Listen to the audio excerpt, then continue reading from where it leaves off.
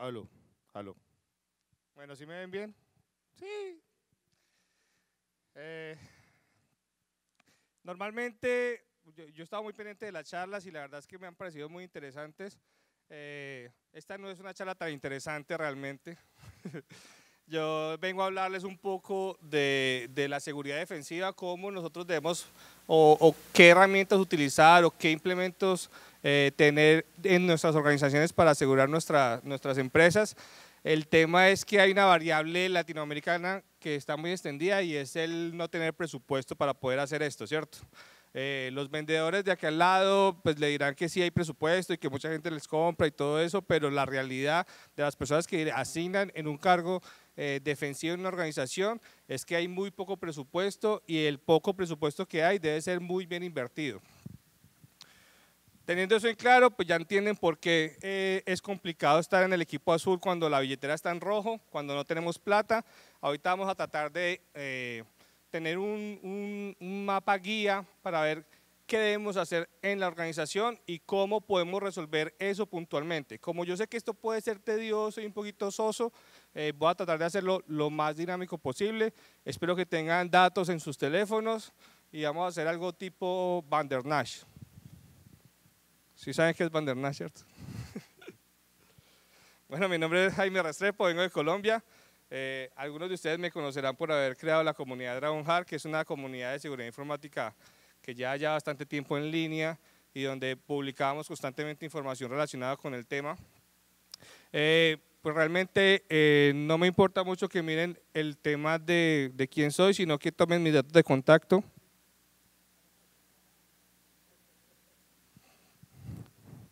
Sí, aquí no venimos pues a, hacer crecer el ego, sino realmente a, hacer contactos, ¿no? A hablar con la gente y si nosotros podemos colaborarles a ustedes en cualquier cosa, pues bienvenido sea. Si toman fotos o lo que sea, pues lo pueden arrobar en Twitter, en Instagram. Ahorita estamos pues en... Siempre tratamos como estar a la par en las últimas redes sociales, hasta en TikTok tenemos ya cuenta. no sabemos para qué sirve.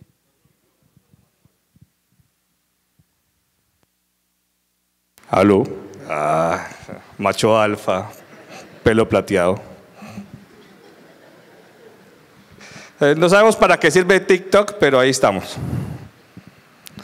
Eh, quien no conozca la comunidad Dragonheart, eh, muy mal, no debería estar acá.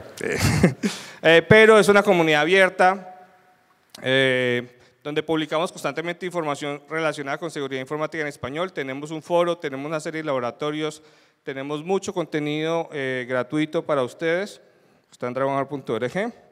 También tenemos un canal en YouTube, no sé si ustedes nos han visto en YouTube, somos el canal de seguridad informática con más suscriptores que hay en habla hispana, si hacemos la cuenta de abajo para arriba.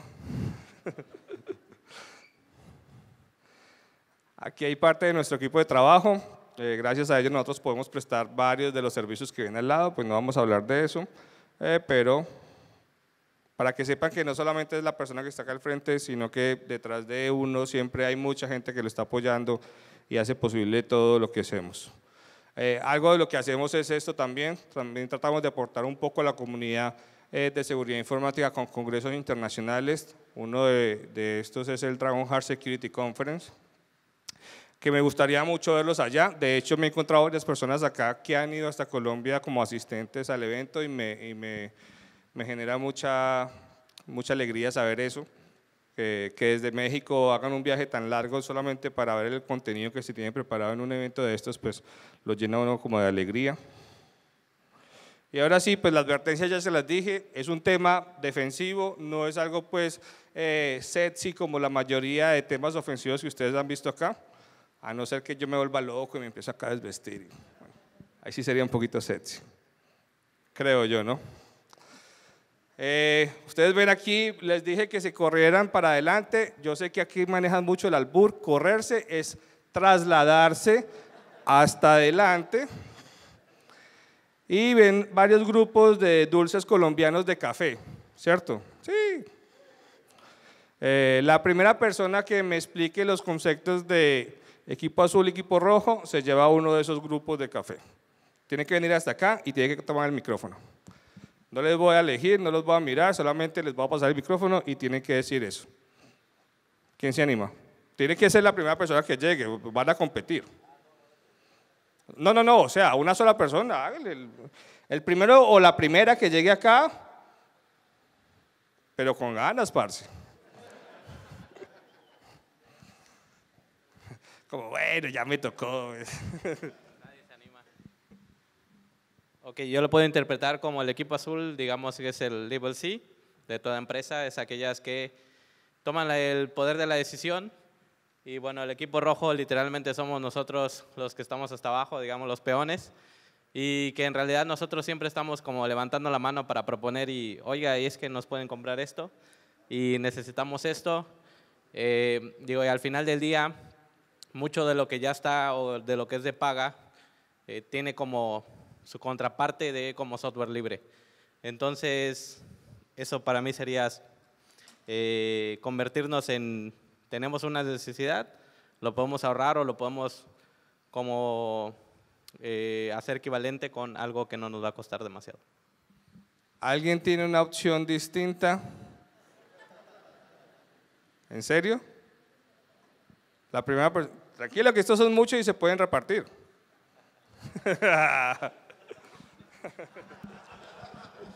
Muy lindo, señor. No, el equipo, el equipo azul es el equipo que se dedica a defender, a proteger la red, seguridad perimetral, análisis de tráfico malicioso, la gente de respuesta a incidentes, mientras que la gente del equipo rojo son los hackers que contratamos para que prueben la seguridad de nuestras aplicaciones y que hagan ejercicios de red team. La culpa de la cerveza, bueno, igual. Una cervecita. Todos están contentos. Ah, Un aplauso para ellos, por favor el botín del otro se está creciendo. Listo, entonces como nos comentaban, básicamente eh, si lo llevamos a un contexto deportivo, para que todos entendemos, eh, el equipo azul sería el arquero, por ejemplo, en un partido de fútbol que está constantemente pendiente de que no le metan ningún gol, que no entre nada a su cancha, mientras que el equipo rojo sería la persona que está buscando constantemente a, eh, meter un gol a la cancha contraria, ¿cierto? ¿Qué es lo que pasa? Hola, mi amor. Eh, entonces, lo que pasa es que cuando a un arquero, cuando un arquero le meten un gol, pues es una tragedia, ¿cierto? Pero no importa cuántas veces el, digamos, el atacante o el delantero intenta meterlo, cuando lo mete, ya es, la gloria, ¿no? Solamente lo tiene que meter una vez y al, y al arquero solamente se lo tiene que meter una vez para que todo sea eh, lo peor, ¿no? Independiente de cuántos balones sacó, si le meten una vez, ya va, lo peor. Por eso es que tantas veces es, bien complejo eh, pertenecer al equipo azul, ¿no? Tenemos que mirar muchas variables, tenemos que evitar que se abran muchas ventanas, mientras que el atacante solamente necesita una ventana abierta, entró por ahí y va a ser mucho más fácil. No sé cuántos de ustedes trabajan en empresas de este tipo. ¿Ustedes qué ven en esa imagen? Así, en resumen. Yo veo un montón de inversión desperdiciada, ¿cierto? Yo veo un montón de cámaras que no son necesarias y una obsesión por asegurar o por tener una visibilidad completa de algún objetivo. Esto es el escenario ideal para trabajar en el equipo defensivo, ¿no? que usted todo lo que pida se lo traiga. No es que yo necesito masajistas porque es que mi equipo mantiene muy estresado. Entonces, para poder analizar bien estas tramas de red, necesito que estén bien relajaditos todos los días. Ta, le traigan masajistas ahí, asiáticas, que sepan cómo es la cosa. Pero la realidad es esta, ¿no? Que nosotros como eh, equipos defensivos, sí, tenemos que lidiar con tecnología muy buena, ¿sí? tecnología satelital, pero en la realidad el satélite lo tenemos al lado.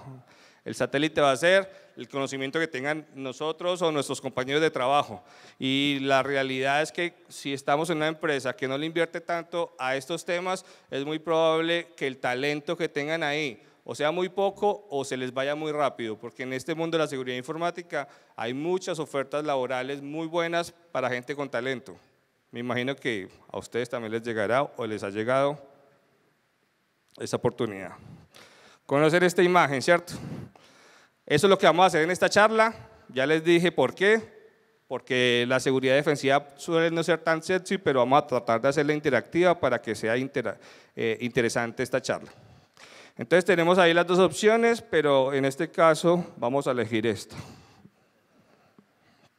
¿Cómo lo vamos a hacer? Desde sus teléfonos van a ingresar a esta URL, preferiblemente los que tengan datos. Yo sé que en todas las charlas de seguridad antes les dicen a ustedes, no ingresen a códigos QR porque los ponen. En este caso no, solamente pueden ingresar al código o la dirección también está ahí abajo.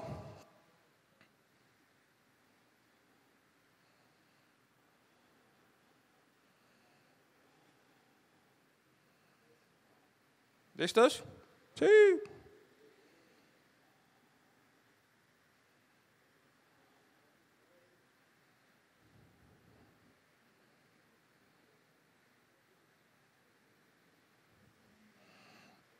¿Qué es lo que va a pasar cuando ingresen ahí? Les va a salir una serie de preguntas. En teoría, yo debería estarme conectando a esta red telefónica. Ya voy, ya voy. Los escucho.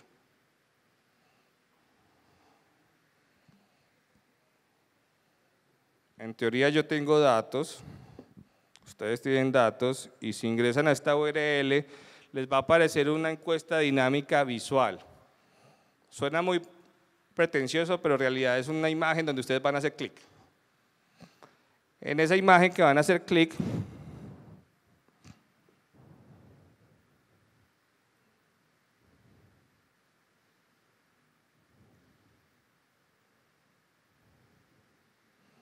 ¿Listos? Ahí está cargando ya.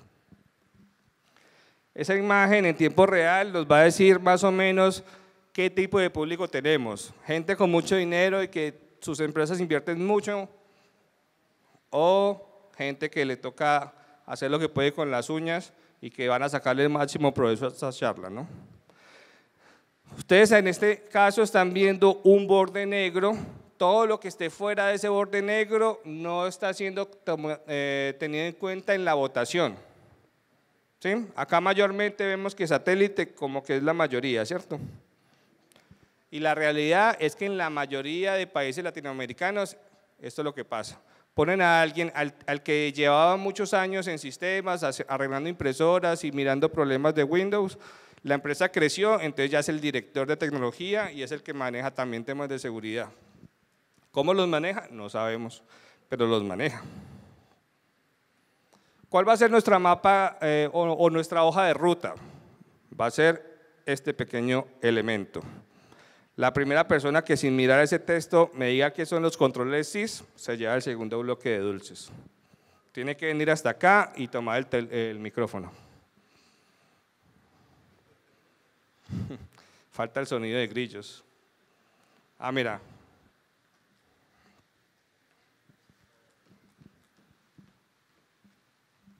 son los controles referenciales para crear bueno, lineamientos de seguridad y establecerlos dentro de una organización. Perfecto. ¿Puedes repetirlo, por favor? son controles referenciales creados por, eh, bueno, por el NIST, ¿no es cierto? Por el SANS y por el SANS y este, CIS. Y son los que nos dan un marco referencial para crear políticas y eh, establecerlas dentro de la organización.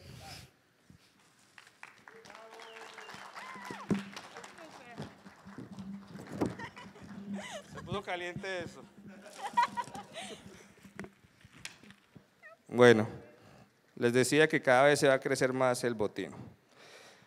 Tranquilos que eso no va a volver a pasar. Esto no es Wild Cancún ni Cozumel.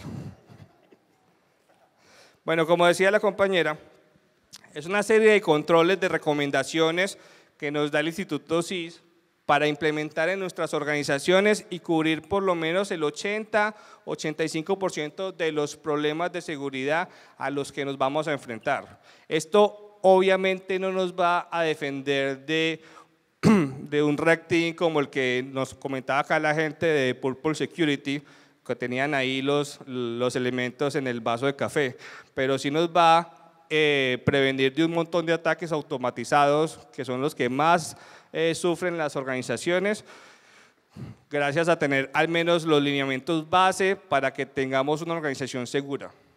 Si me hago la idea, como esto es como lo mínimo. Usted quiere conseguir novia, listo, báñese todos los días, póngase bonito, háblele bien, lo básico y ya después sí va avanzando. Está dividido en varios, en varios bloques. Tenemos los controles básicos, que es como lo mínimo necesario que deben tener, los fundamentales y ya los organizativos que son más que todo enfocados en formación. Ustedes por el solo hecho de estar en este tipo de eventos, tratando de formarse y, capacitándose, pues ya están cumpliendo al menos el, el 17, ¿no? Implementar un programa de concientización y entrenamiento de seguridad. Yo sé que es muy difícil para ustedes, eh, digamos, justificar que van a ir a Cozumel a aprender de seguridad, pero si están acá es porque lo lograron, ¿cierto? Sí. De hecho, bueno, luego les cuento, el hecho es que estaba hablando con alguien y no, por ahí escuché el rumor de que le van a llamar Tropicón. Si le ponen Tropicón al Congreso, seguro que mi jefe no, no me vuelve a dejar venir. Esta es una frase que me gusta mucho y aplica mucho en el campo de seguridad defensiva. Y, no sé si de pronto aplicará para muchas otras cosas, pero a mí me gusta mucho aplicarlo acá. Y es lo que no se puede medir, no se puede controlar. Y lo que no se puede controlar, pues no se puede administrar. Entonces, ¿qué es lo que primero debemos hacer en una organización para medianamente tener control sobre ella? Saber cómo está compuesta y saber qué dispositivos eh, digamos, electrónicos tenemos a nuestro cargo.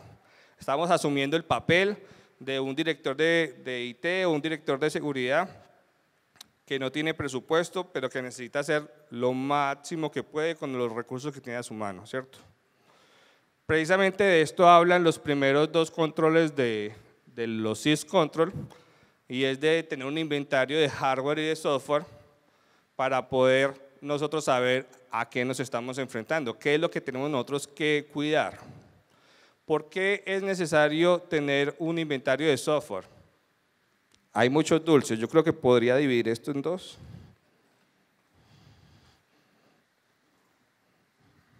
Y la primera persona que me diga, no, no, no solo es levantar la mano, es que vengan hasta acá, se arriesguen, queden en el video y hablen.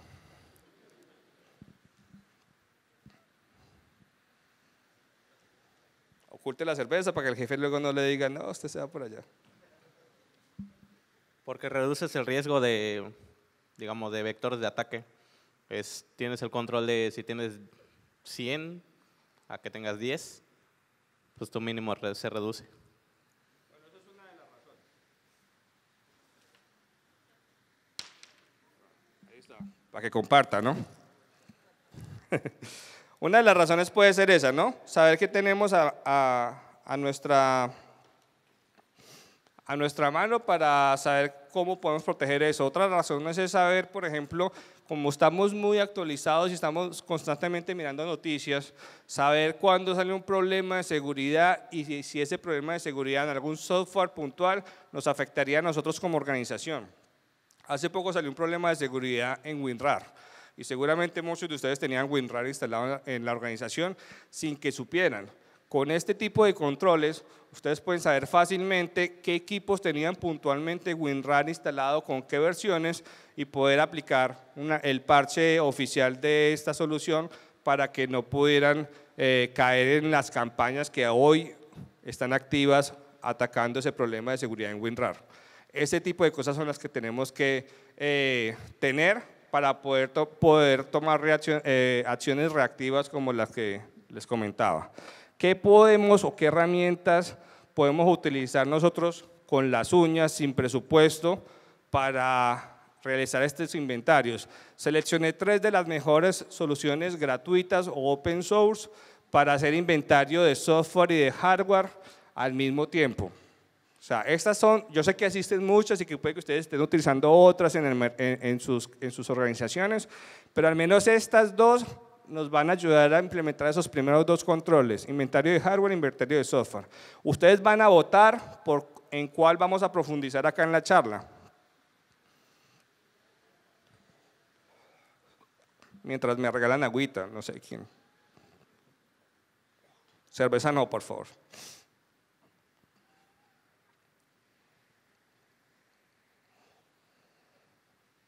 ¿Ya? Yo sé que es mucha la tentación de ponerle el puntico en, la nariz, sacarle un moco y todo eso, pero todos los votos que no estén en el nombre del software no son tenidos en cuenta. Nombre, no logo, ni nada por el estilo, el nombre del software. Por eso es que la votación creo que está en ceros. ¿Ya aprendieron? Listo. La próxima la harán mejor.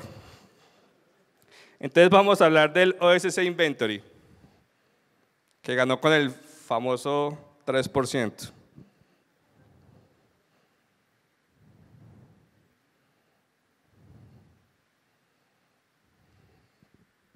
¿Cuáles son las ventajas del OSC Inventory? Eh, bueno, este es open source y totalmente gratuito. Tenemos una buena cantidad de plugins creados por la comunidad para añadirle funcionalidades a la, herramienta. Eh, estoy mirando algunos de ellos y están bien interesantes. Algunos de ellos, por ejemplo, se conectan con el TeamViewer, si lo tienen instalado en las máquinas, para sacarle el numerito que es necesario para poderse conectar remotamente. Entonces, ustedes ya como soporte podrían tener una forma fácil y rápida de acceder a esas máquinas. Permite, como les decía antes, tener inventario de hardware y de software en una sola solución.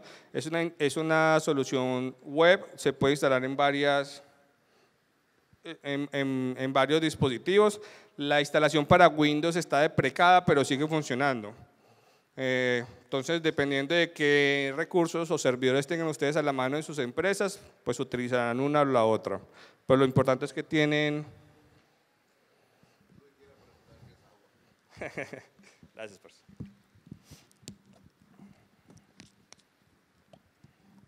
Aquí toca decir que uno quiere agua y no cerveza porque...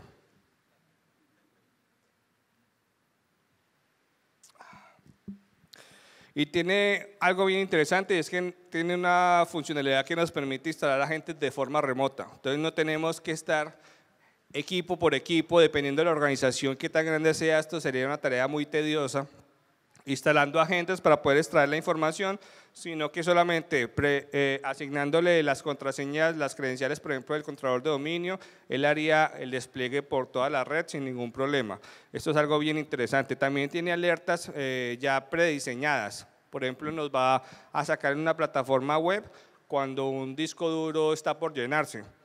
Entonces vamos a poder tomar acciones más eh, reactivas, ¿no? O proactivas, perdón antes de que se llene un disco duro de un servidor, nosotros sabemos, ah, ya se está llenando, hagamos eh, eliminación de logs o lo que nosotros tengamos que hacer para reducir el espacio o cambiemos ese disco para poder eh, continuar con la operación. Otras tareas y otras herramientas, me imagino que ustedes conocen los vicios, eh, digo, el Microsoft Vicio, eh, es una solución bien interesante, pero hay una mejor. Eh, yo lo llamo el Microsoft Vicio de los pentesters. Se llama eh, Maltego Case File. No sé si conozcan la solución Maltego, que está muy orientada como al tema de OSIN y recolección de información y numeración. muchos profesionales, y me incluyo entre ellos, no lo usábamos porque la información que nos arroja suele ser no muy limpia sea, toca hacerle muchos procesos para que nos arroje información eh, real, pero sí nos interesaba mucho el tema del Canvas y cómo se manejaban los, los gráficos dentro de esta herramienta. Ellos se dieron cuenta y sacaron todos esos elementos del software en un software distinto. Ese software se llama Malteo Case File. Entonces es muy interesante porque acá ustedes pueden arrojar a un canvas a una persona y asignarle a esa persona diferentes elementos como su teléfono celular, el, equipo que manejan, eh, si tienen una tableta, y van generando como un organigrama de su organización para tener una visión más general de, cada uno de los elementos que hay en, la empresa. ¿no? Esto no va a ser automatizado, pero va a ser muy útil a la hora de tener como un inventario y va a reemplazar esa tablita de Excel que yo sé que muchos de ustedes tienen donde está IP, MAC, nombre de la persona asignada, ¿cierto? Sí. Si se ríen es porque la tienen. Esto sería más o menos así. Eh, también es una recomendación que se hace y realmente entiendo a las personas que mantienen estresadas cuando eh, están administrando una red que no tiene las IPs estáticas, saber en todo momento qué equipo tiene asignado una persona o no, eh, dependiendo de cómo amaneció el DHCP ese día, pues es un dolor de cabeza. ¿no? seguimos con el siguiente control. Ustedes recuerden, van a votar, pero solamente en el nombre del proyecto.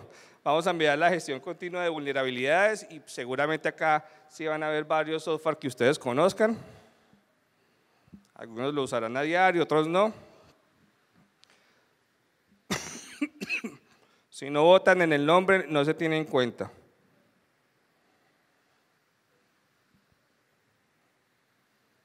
Ya ahí se va delineando un favorito, pero recuerden que, a ver, Somos adultos, pasamos la primaria.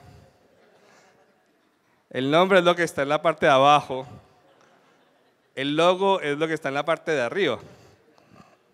El voto solo se tiene en cuenta si hacen clic en el nombre, que está en la parte de abajo. Bueno, en este caso yo creería que ganó Open pero la realidad de los que votaron bien fue en, por Nessus. ¿Listo? Sí. Eso yo diría, y yo sé que puede que me eche mucha gente en contra por decir esto, es uno de los escáneres de vulnerabilidades más completos que hay en el mercado y para mí se podría decir que es hasta el mejor escáner de vulnerabilidades que hay en el mercado. ¿Y por qué digo que me podría echar encima mucha gente? Porque ahorita están saliendo como los Next Generation eh, Vulnerability Scanners, que supuestamente tienen inteligencia artificial y machine learning y todo esto. Pues la realidad es que Nessus fue pionero y sigue siendo líder y es el que nos arroja eh, la, menos, eh, la menor cantidad de falsos positivos que para uno como auditor es vital. Tiene una GUI simple y, permite programar de forma recurrente los escaneos que para uno como auditor, eh, o, o, mejor dicho, para uno como, como ente encargado de la seguridad de una institución es muy importante. Eh, hasta hace poco la licencia gratuita nos permitía hacer 16, escane 16 IPs por escaneo, pero no nos limitaba a qué tipos de IP se podían escanear. Entonces podíamos escanear IPs remotas.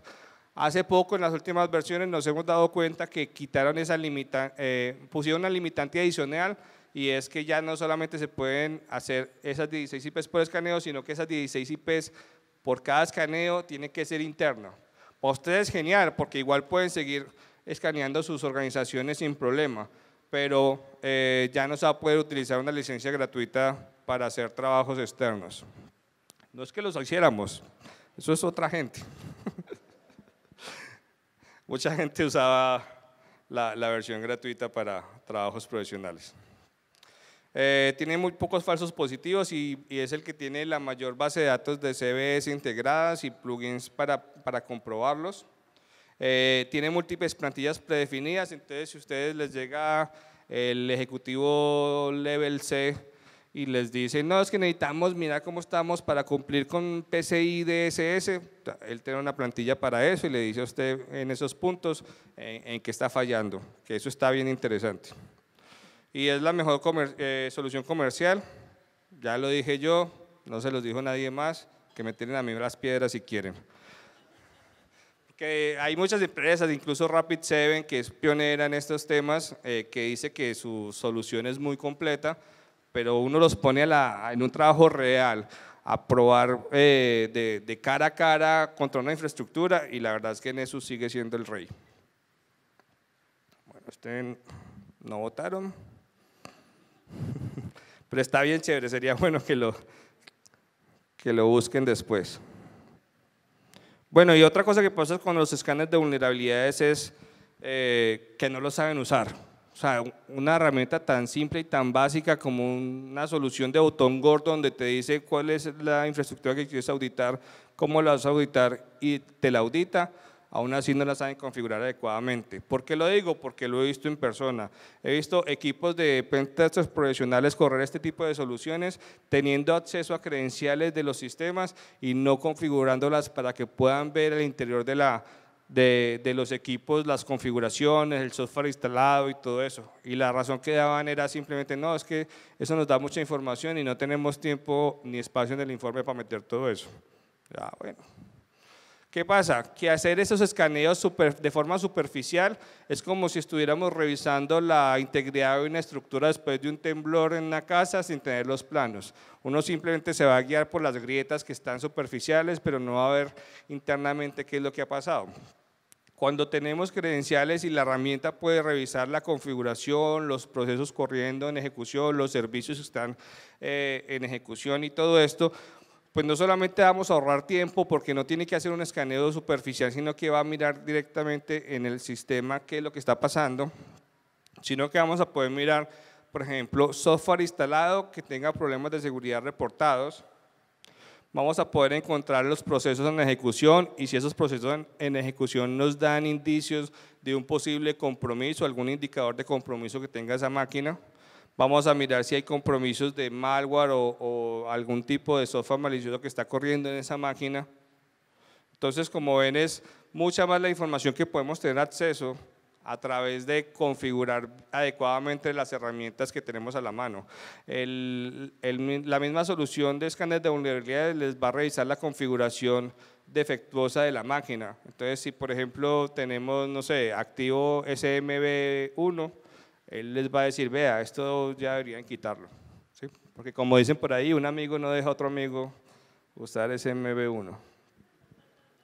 Otra cosa bien interesante sería que puedan vincular la solución que elijan, independiente de cuál sea, a un sistema de tickets o un sistema de gestión tipo Jira o lo que sea, para que puedan administrar adecuadamente los problemas de seguridad, porque de nada sirve que los hayan detectado si no van a, generar como un to-do de, de acción para poderlos reparar. Hay otras soluciones que nos permiten, yo sé que muchos de ustedes no se pueden permitir, digamos, tener un servidor para, eh, para un servidor de actualizaciones de Windows y ustedes dicen, no, yo no actualizo las máquinas porque es que eso me ralentiza tanto la red. Y uno dice, ay, fue pucho. Cuando los comprometan y sepan que es ralentizar la red, ahí se van a dar cuenta. Pero hay otras soluciones, por ejemplo, hay una herramienta gratuita que se llama WSUS Offline, que es una solución gratuita. Tú descargas de una sola máquina todos los parches de actualización de Windows oficiales que necesitas y a través de esa solución los distribuyes a los demás sin tener que tener un Windows Server en la empresa y sin tener que utilizar pues, la, el WSUS oficial.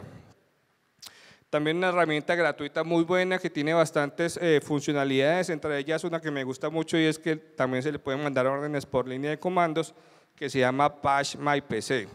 Esto tiene una base de datos de más de 300 soluciones gratuitas, eh, soluciones tipo WinRAR, que Java, que eh, no sé, Flash, todos esos plugins o software gratuito que solemos instalar en, en, las máquinas.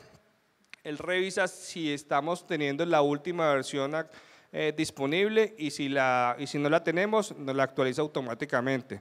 Esto es muy útil porque si estamos en un caso como el que pasó recientemente con WinRAR, y, lo, traigo a colación porque después es algo muy, muy reciente, este tipo de soluciones tan simples nos hubieran podido evitar algún problema eh, en ese tipo de, fallos. Y hay algo que no se suele conocer tanto, no sé por qué, debe ser porque eh, la versión comercial es la, la de pago, o sea, digamos que si quisiéramos implementar esto en una empresa tendríamos que pagar, pero a nivel personal es muy útil, se llama Zero Patch y es una empresa que se dedica a generar parches de seguridad antes de que los fabricantes oficiales lo hagan. Por ejemplo, cuando salió el problema de WinRAR, ellos sacaron parches de seguridad para WinRAR antes de que la misma RARSoft, que son como los encargados de WinRAR, sacaran el parche. Entonces ustedes van a tener soluciones antes de las oficiales y, y, es una solución pues muy buena, también es gratuita a nivel, digamos, hogar. El siguiente sería uso de controladores de los privilegios administrativos. Y pues aquí tenemos varios grandes conocidos y otros que están tratando de incluirse en el mercado. Eh, primero el famoso Active Directory, el otro es una distribución que, eh, digamos, su oferta de valores tener una solución gratuita, una alternativa gratuita a lo que es un controlador de dominio, incluidas las GPOs. Es una distribución eh, de unos españoles y que está bien, bien, bien completa.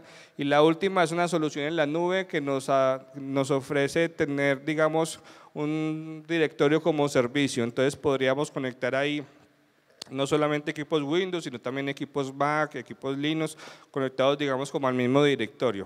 Ya ustedes me dirán con sus votos por cuál nos vamos.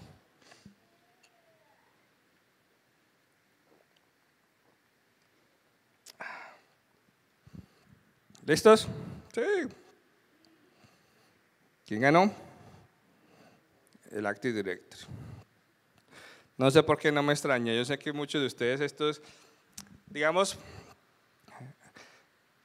esto puede ser el dolor de cabeza para muchos de los administradores de una organización, pero también es la salvación. Si a ustedes les da dolor de cabeza gestionar algo como esto, imagínense trabajar en una empresa con más de 100 máquinas y que no tenga un controlador de dominio, que uno no pueda generar una GPO y mandarle un parche de actualización automático a todo mundo o que ejecute tal script automáticamente. Sería una, una tortura, ¿no? Y nos ha pasado. Eh, es la solución oficial, es la que más soporte tiene para las diferentes soluciones Microsoft.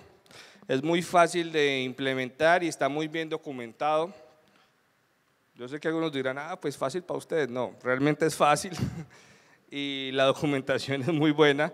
Eh, es la que ofrece la máxima compatibilidad. Y pues la, principal desventaja que nosotros le vemos es el tema de la, de la licencia, ¿no? Porque cada uno de los agentes que se conecten tendría que estar pagando una licencia adicional. Yo sé que muchos de ustedes dirán, ah, pues a mí nunca me salió ningún avisito. Eh. Trabajen así, verás cuando les llegue la cuenta va a ser mayor. Eh, es, es, digamos, la mejor solución para este tipo de, de problemas, pero vamos a mirar algunas cosas adicionales.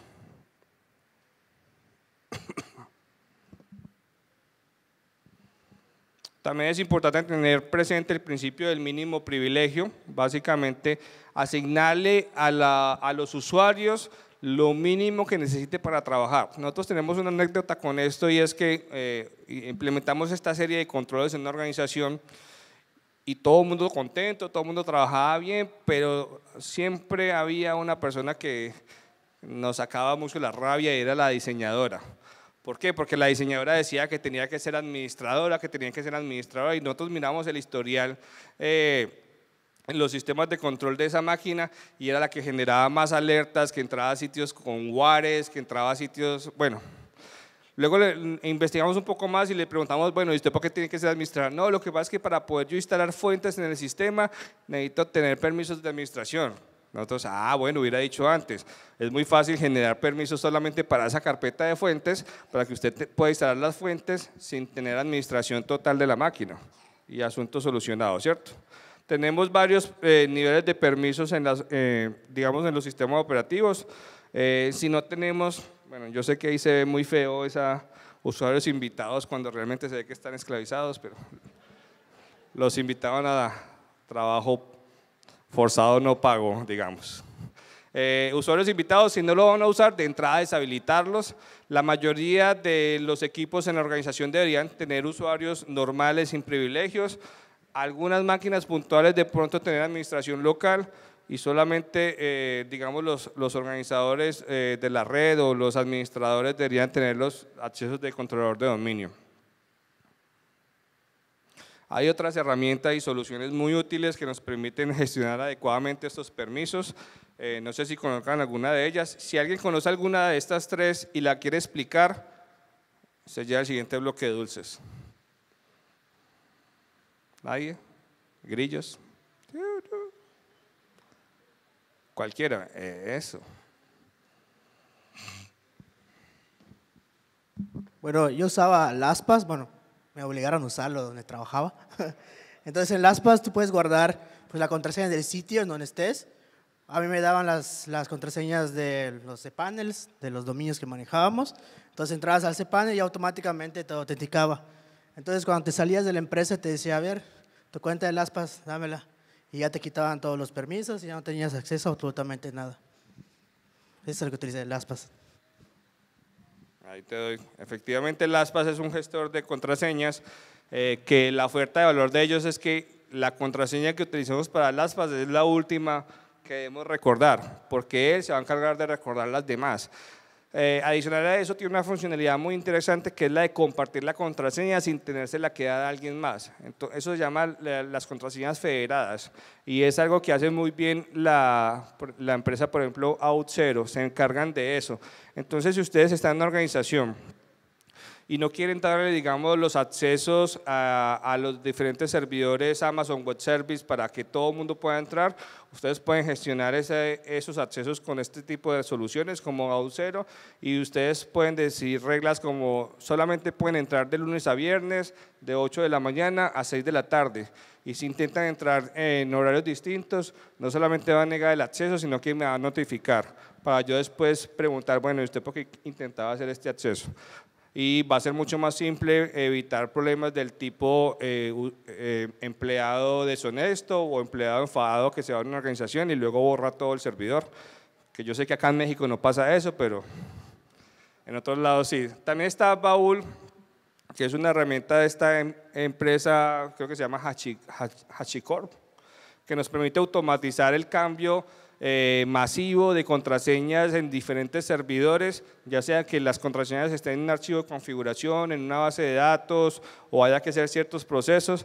Entonces, eh, lo que dicen las políticas normalmente es que cada tres meses se cambian las, las, contraseñas en ciertos sitios y la realidad es que casi nadie cumple esas políticas porque es muy tedioso estar haciendo esos cambios. Con esas soluciones que nos permiten esa automatización, se pueden aplicar las políticas sin que sea tedioso. ¿Cierto? Sí. Vamos por el 5, configuración segura para hardware y software y equipos móviles. Bueno, aquí nos vamos a enfocar más que todo. El, tema del hardening es muy difícil automatizarlo porque uno no sabe realmente eh, qué entorno va a necesitar la organización eh, o, cómo necesita la organización los equipos para, para ciertos servicios puntuales. Aquí tenemos tres soluciones. La primera es para automatizar procesos de hardening en Windows. La segunda y la tercera es para Linux, solo que la segunda tiene adicional soporte para Mac.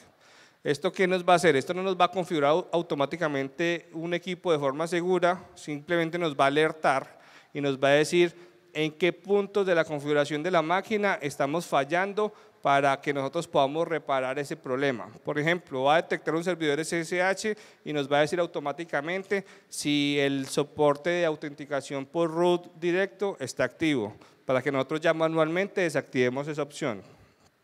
A ver quién ganó. Linux. Ah, no.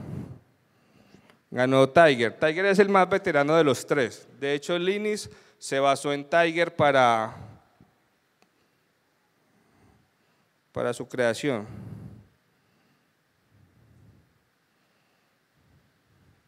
¿Cuáles son las ventajas? Que es muy fácil, e, es open source y es muy fácil de integrar. Básicamente es un script que le va revisando a uno los archivos de configuración y va mirando las, eh, si las buenas prácticas están implementadas o no. Tiene soporte para cualquier sistema basado en, en Unix, menos Mac. Ahí está el, el rechazado. Eh, uno de los problemas es que no corrige, por ejemplo, el primero que veíamos sí corrigía algunas cosas en Windows, estos últimos dos no corrigen, solamente informan, pero nosotros podemos automatizar ese informe para que nos vaya llegando al correo y para que nosotros veamos qué es lo que está pasando en la máquina, ¿cierto? Es el más antiguo, pero tiene pocas eh, novedades, creo que hace dos o tres años no se actualiza. Eh, tampoco tiene soporte oficial ni pagado. Pero está esta otra opción que no se las di como lección porque quería comentárselas. Eh, OpenSCAP es una metodología que tiene como el todo en uno.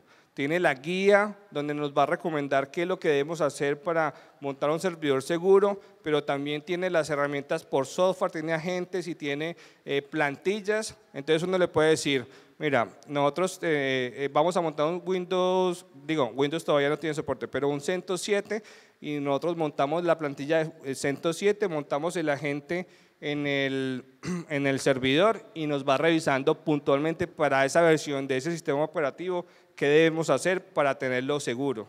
Es bien, bien completo y está apoyado por la gente de Red Hat, o sea que eso es garantía de, de un proyecto serio, ¿cierto? Sí. El mantenimiento y monitoreo de análisis de logs, acá es donde la mayoría de la gente eh, se rasga las vestiduras porque esto es lo que todo el mundo les va a vender, ¿no? El Next Generation 100 y toda la cosa. Y la realidad es que tenemos muchas soluciones eh, libres, gratuitas, que muchas veces nos va a dar, eh, digamos, nos va a dar la misma o más información que las soluciones comerciales. El problema es que tenemos que tener personal formado para que sepa interpretar esa información. Sí, por ejemplo, tenemos Eh, por ejemplo, tenemos el CELC, que es una integración de Suricata con el sistema LK y nos arroja muchísima información sobre lo que está pasando en nuestra red.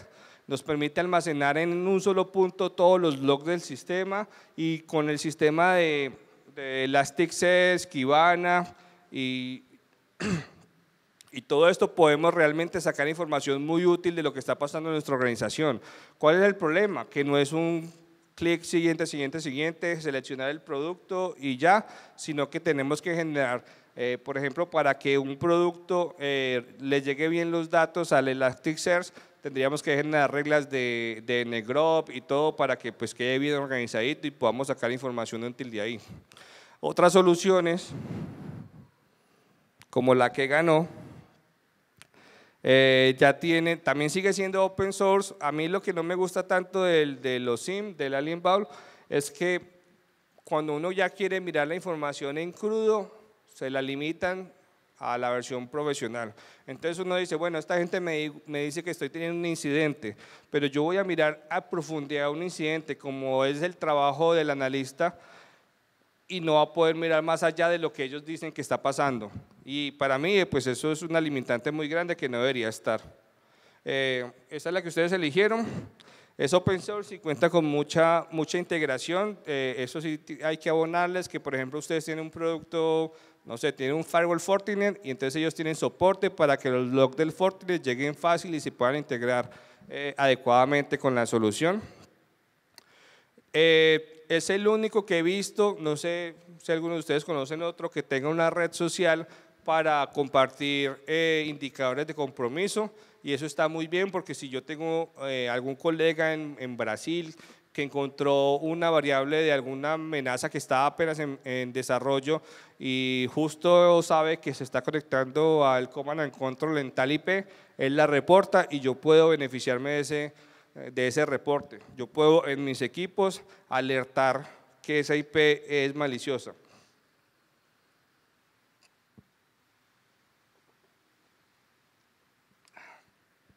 Es un todo en uno.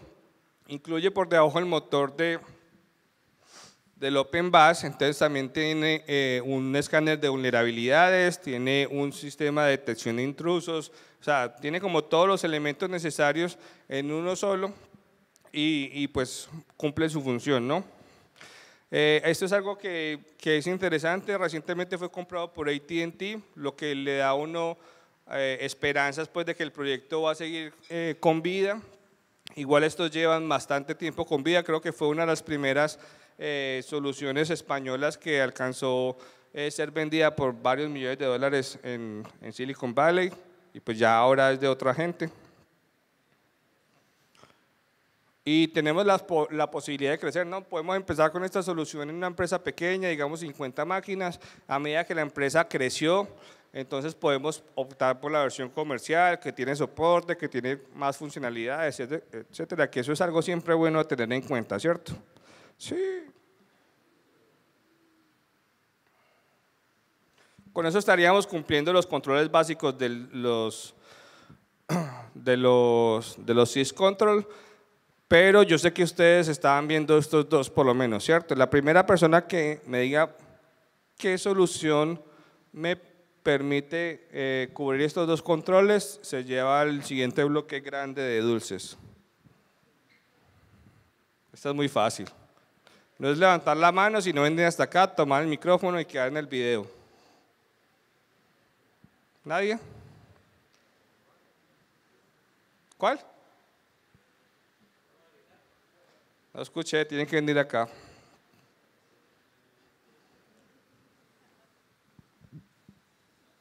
Un firewall. ¿Ven que no era tan difícil? Eh, te ayudo.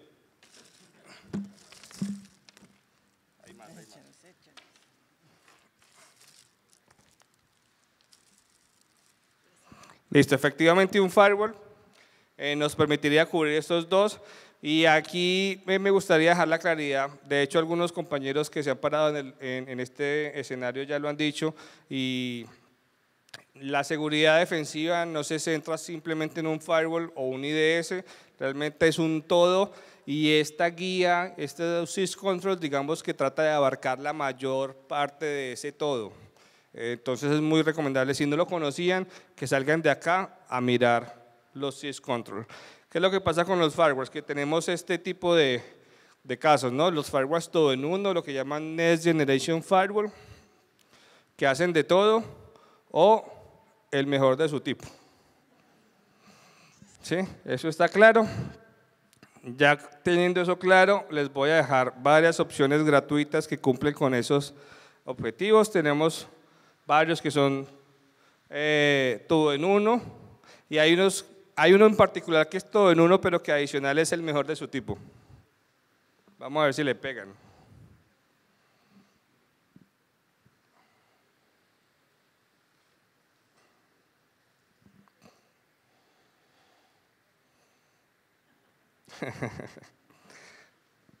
bueno, ahí va, ahí va ganando.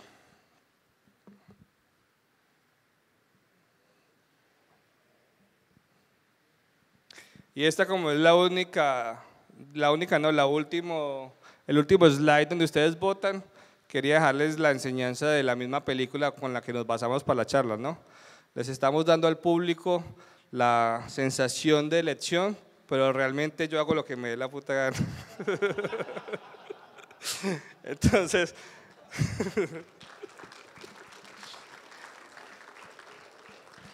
Entonces les voy a hablar un poquito de las tres. ¿Listo? Tenemos las primeras, eh, digamos, la, primera que es el Endian, es bien completa, eh, tiene varias funcionalidades que se integran eh, muy bien. Me, gusta mucho del Endian es que la interfaz la supieron integrar muy bien con soluciones externas, o sea, parece que todo estuviera bien construido como si fuera de ellos. Un ejemplo, tienen la herramienta NetOp para todo el tema del análisis de tráfico integrado dentro de la solución, dentro de su interfase y no parece que fuera externo. Lo malo es que solamente nos da lo que, lo, que trae ahí, nada más. O sea, no podemos añadirle funcionalidades eh, extra, pero tiene muy buenas funcionalidades, viene integrado con un, con un IDS, trae muy buenas posibilidades para generar VLANs, para generar eh, para generar, creo que no tiene portal cautivo, o me equivoco, eh, pero está, está bien completo, digamos que está de los todo en uno, es de los mejorcitos. Está el Simple Wall, que este lo utiliza una empresa muy grande en Colombia que se llama Alpina, eh, es un software, digamos, bastante enfocado en la usabilidad, está bien hecho, es a mi parecer demasiado simple, aunque uno con el mero nombre ya se las, se las duele. Eh, pero si ustedes lo que necesitan es un, un, firewall como tal que permita entrar o salir eh, tráfico o que permita eh, controlar de cierta forma la red, es una solución aceptable. Pero para mí el mejor es el que ustedes eligieron, es el PFSense. ¿Por qué? Porque tiene todas las funcionalidades que ustedes pueden encontrar en un software o en una, una appliance comercial tipo no voy a decir la empresa, pero empieza por Forti y termina, bueno, tipo soluciones como esas o cualquier otra, Aruba Networks o cualquier otra que le, que le llame la atención. Me gusta mucho que también están ofreciendo appliance a muy buen precio. O sea, ellos te venden el hardware donde montar esta solución y queda muy bien, es rackeable.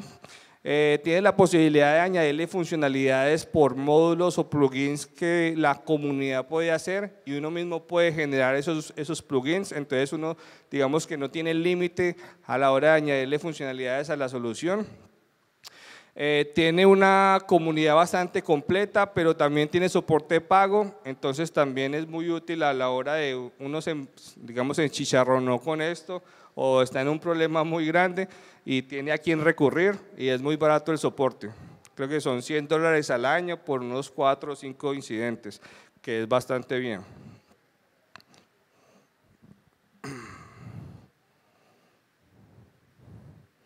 Aquí estaba patéticos humanos para cuando...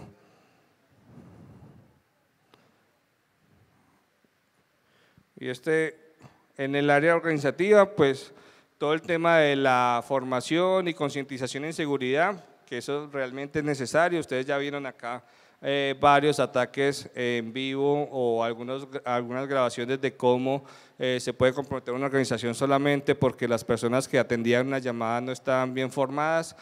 Con una formación tranquilamente esto se pudo haber evitado, pero yo sé que ustedes saben eso porque están en esta formación, ¿no? Están en el OWAS, el mejor capítulo de la Riviera Maya, Cozumel, al lado de la playa, con cervecita, todo full, ¿cierto? Sí. Eso es todo por hoy, muchas gracias.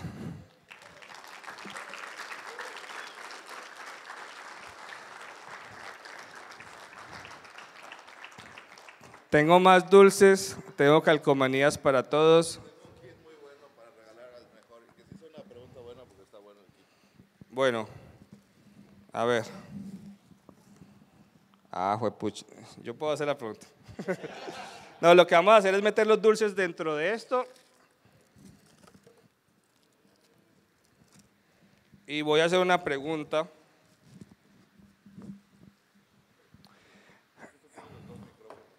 Listo. En la segunda diapositiva, cuando estaban mirando la trama de red, No, mentira, vamos a mirar otra más. Eh, la persona que venga acá adelante y me diga al menos una de las opciones seleccionadas en cada uno de los puntos. Esa es una buena pregunta, ¿cierto? Se vale si anotaron. Pues tomaron nota porque ustedes con el tema del albur.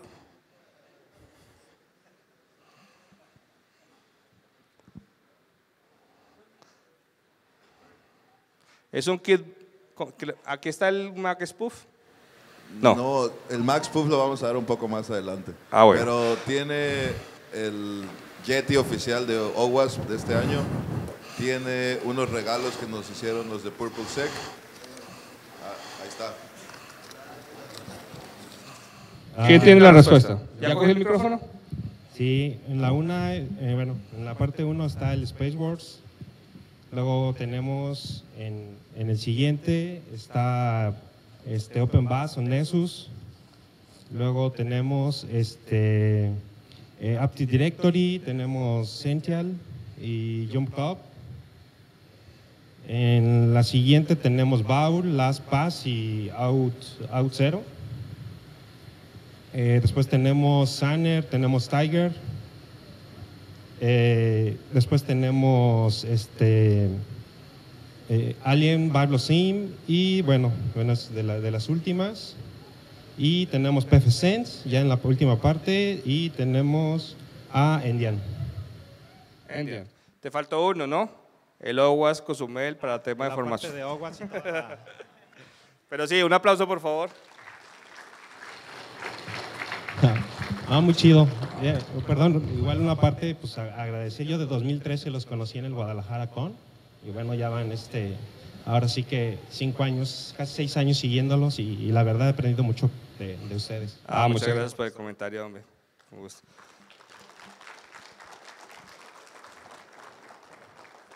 Trajimos calcomanías suficientes para todos.